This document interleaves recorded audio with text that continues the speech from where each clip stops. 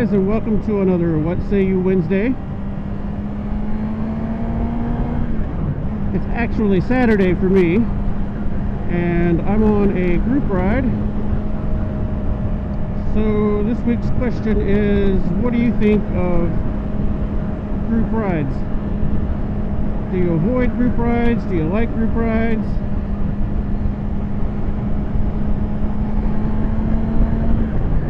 Know some people really don't like to ride in big groups.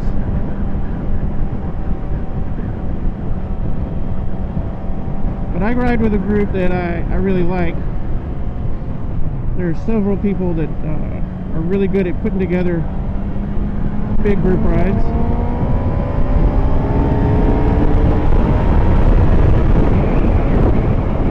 And the thing I really like about this group is we have several members that that know the roads really well. They put together really cool routes with interesting things to see. And when we get together, it's usually a really diverse group.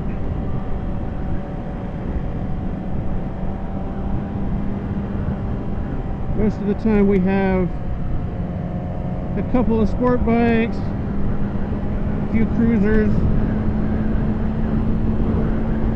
in this group today we actually have some scooters. I think we have like three or four scooters. And we even have a dual sport that's tagging along. We're mostly on twisty back roads so even the little 250 dual sport can keep up.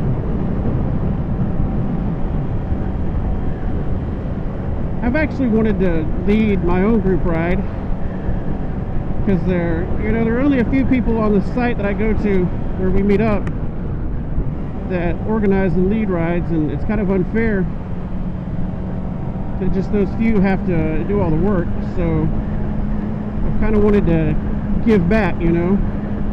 But I don't really know a lot of good roads like these guys, unless I've gone down it with one of them already. And another thing that kind of keeps me from wanting to put together my own group ride is I would feel totally responsible for everybody in the ride and that would bug the hell out of me. Um, earlier on this ride we actually had a crash and they actually had to airlift the guy and take him to a nearby hospital so hopefully it was all just a precaution. He was talking and he seemed coherent, so hopefully he's alright. But I know the guy leading this ride is probably feeling pretty bad right now. I've been on several of his rides before and we've never had any crashes or any kind of problems, but He's a real nice guy, real safety oriented. Gives a little speech before the ride, you know. He goes out and free rides the route to make sure that there's no kind of hazard or anything that's going to mess anybody up. So I know he's the type of guy that would would kind of feel bad if somebody crashed on his ride. So, but you know, you can't control everybody. He keeps a, a reasonable pace.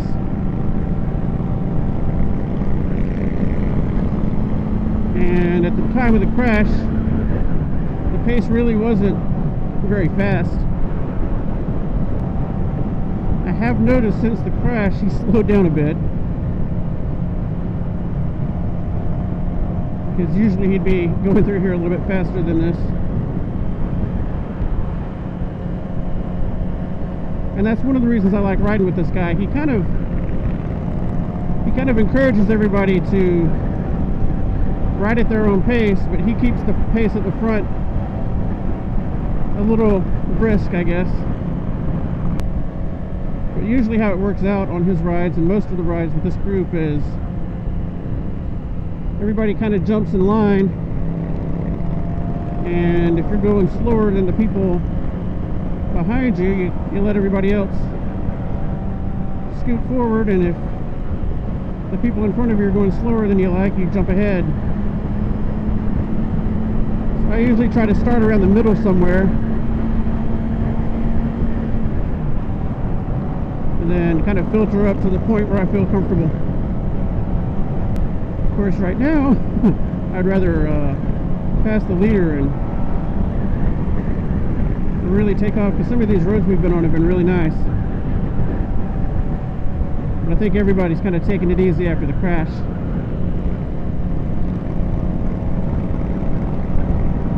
And I think we actually had two other people go off the road. I think maybe even in the same turn where the guy crashed. So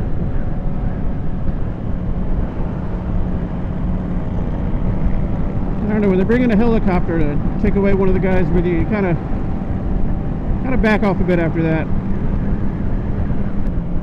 So what say you? Do you like group rides? Hate group rides? Do you have any tips for participating or leading a group ride? It'd be really cool if some of you would go out and uh, do a group ride and make a response. So until next time, chat with you guys later.